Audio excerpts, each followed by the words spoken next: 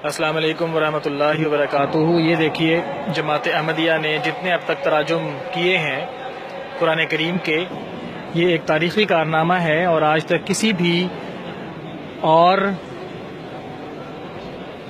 तंजीम को या जमात को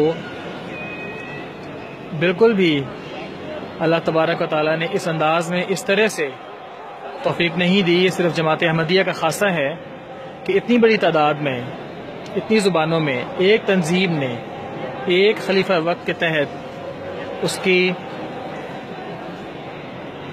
इतबा में हुक्म की तामील करते हुए दिन रात लगाकर कुरान करीम के तराजम मुकम्मल किए हों।